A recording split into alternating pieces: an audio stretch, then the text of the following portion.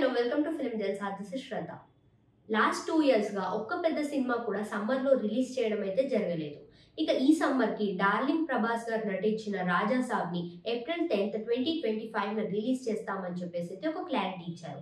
ఇక అదే రోజు మరో పాన్ ఇండియన్ సినిమా కూడా రిలీజ్ అవబోతుంది నాయకుడు తర్వాత కమల్ హాసన్ గారు అలానే మణిరత్నం గారి కాంబినేషన్లో రాబోతున్న thug life after thirty seven years వీళ్ళిద్దరి కాంబినేషన్లో ఒక సినిమా అయితే రాబోతుంది. ఇక ఈ సినిమా ప్యాన్ ఇండియన్ లెవెల్లో రాబోతుంది. ఇక ఈ సినిమాని కూడా ఏప్రిల్ టెన్త్ ట్వంటీ ట్వంటీ ఫైవ్నే రిలీజ్ చేస్తాము అని చెప్పేసి అయితే అంటున్నారు ఇక రెండు సినిమాలు ఒకే రోజు రిలీజ్ చేయడంతో కలెక్షన్స్ దగ్గర ఏమైనా ఇబ్బంది జరుగుతుందేమో అని చెప్పేసి అయితే టాక్ నడుస్తుంది. డార్లింగ్ ప్రభాస్కి ఆల్ ఓవర్ ఇండియా అయితే మార్కెట్ చాలా గట్టిగానే ఉంది. ఇక కమల్ హాసన్ గారు చెన్నైలో మంచి కలెక్షన్స్ చేసినా కూడా తెలుగు దగ్గరకు వచ్చేసరికి అంతగా కలెక్షన్స్ రావేమో అని చెప్పేసి అయితే టాక్ నడుస్తుంది. ఇక అదే నెలలో మార్చ్ ట్వంటీ ఎయిత్న విజయ్ దేవరకొండ సినిమా రిలీజ్ చేస్తున్నట్టుగా అయితే ఒక క్లారిటీ ఇచ్చేశాడు ఇక రాజాసాబ్ రిలీజ్ అయిన వన్ వీక్కే మార్చ్ నైన్టీన్త్న తేజ సజ్జా నటిస్తున్న మిరాయిన్ సినిమాను కూడా రిలీజ్ చేయబోతున్నారు.